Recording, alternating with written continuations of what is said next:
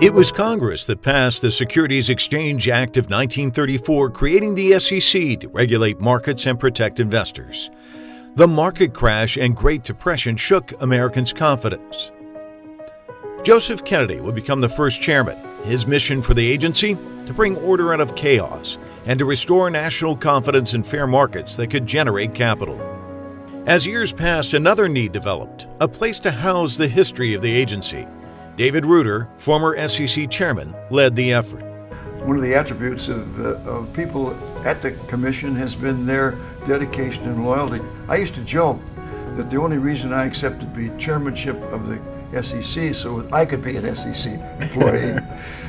uh, but any event, uh, I, I had this dedication, and I and I'm also, as a law professor, I'm really a legal historian, and I thought it's wonderful, be wonderful to have a history of the SEC established in a single place. Paul Gonson, the SEC's long-serving solicitor, was recruited by Ruder to help establish the SEC Historical Society. I felt, and I think our fellow founders felt too, that there was a need to have a museum of some kind that would collect documents, that would collect uh, regulatory filings, and not only for the SEC, but, but more broadly with regard to the securities market generally and finance in the United States. Uh, if you don't know your history, you're doomed to repeat it. Ruder also turned to Harvey Pitt, former SEC General Counsel and later SEC Chairman knowing that he too would bring a deep appreciation for the mission to preserve the SEC's history. I think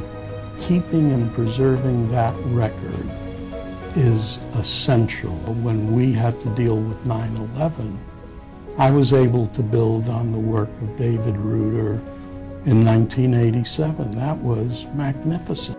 These early visionaries wanted to create an archive for written and oral histories that would share not just the history of the agency, but also the passion of the people who worked here.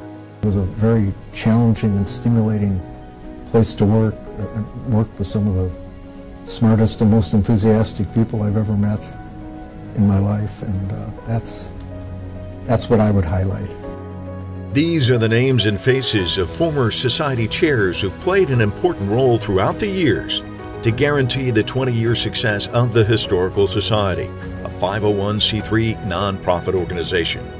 These volunteer trustees donated their time, wisdom, and financial support to make the SEC Historical Society what it is today. Each one has also brought with them the passion it takes to drive this success. They all believe in the important mission of preserving this vital history and to make it publicly accessible. They all recognize the importance of history because often the past is a useful guide for the future. The statutes we have are very resilient, and there's a tendency to want to, whenever anything bad happens, to adopt some crazy new reform. And I think seeing how we can get things to work, like how we got the 33 Act to work with the internet, is a good example. Um, and people wouldn't know that that's what happened. Um, especially if they didn't have access to these histories. You have to remember this is what computers look like when these early founders envisioned the spreading reach of the digital revolution and a virtual museum was born to capture these treasures.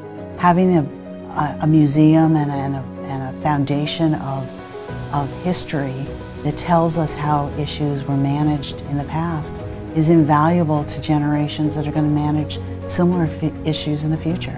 The museum allows researchers to better understand how the system of statutes, regulations, and government policies are guiding the capital markets. In this fast-paced world, with a 24-hour news cycle, it also gives scholars a chance to reflect on events with a sober understanding of history. There's a real value in having an appreciation for what went before you, who went before you, and how they did things. And you may not agree with everything they did, but there's something to be learned from. The museum is easy to navigate with themed galleries. There's also an important timeline from the SEC's birth to Black Monday in 1987 the terror attacks of 9 11, which shook the markets, and of course the Great Recession and stock market crash of 2008. All of this is because of founders who had the vision to take a dream and make it a reality.